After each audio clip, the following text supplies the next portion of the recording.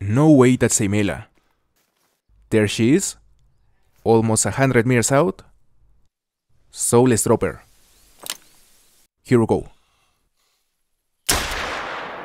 And she is down. There's the hunting pressure. Finally, a melanistic red fox. You have no idea how much I wanted one of these.